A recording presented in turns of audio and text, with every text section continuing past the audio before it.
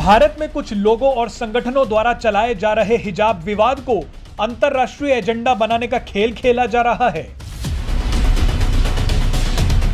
पाकिस्तान जैसे ही इस मुद्दे पर कूदा, ये साफ़ हो गया कि ये सब कुछ एक स्क्रिप्ट के मुताबिक चलाया जा रहा है। लेकिन अब जो खबर हम आपको बताने जा रहे हैं, उसे सुनकर कोई बच्चा भी बता सकता है कि कैसे हिजाब के नाम पर एक खतरनाक एजेंडा चलाया जा रहा है। अब इस पूरे विवाद में तालिबान की एंट्री हो गई है।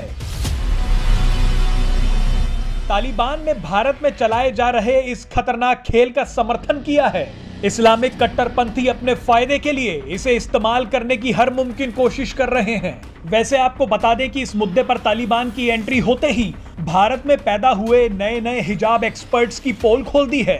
भारत में जो लोग इस मुद्दे को अधिकार से जोड़कर मामले को भटकाना चाहते थे, अब उनके छुपे हुए एजेंडा को तालिबान ने सामने ला दिया है। तालिबान के प्रवक्ता ने ट्वीट करते हुए कर्नाटक की इस लड़की का फ़ोटो शेयर किया और लिखा, भारतीय मुस्लिम लड़कियों के संघर्ष से पता चलता है कि हिजाब एक अरब, ईरानी, मिस्र या पाकिस्तानी संस्कृति नहीं है, बल्कि एक इस्लामी मूल्य है, जिसके लिए दुनिया भर में मुस्लिम लड़कियाँ विशेष रूप से सेक्युलर दुनिया में विभिन्न तरीकों से बलिदान करती हैं।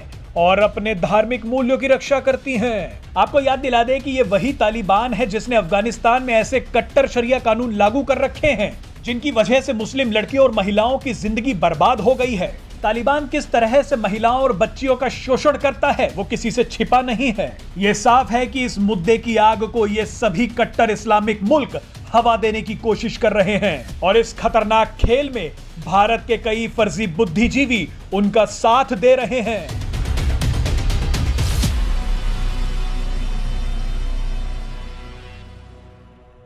Presenting the News app available on Google Play and App Store. Download it now.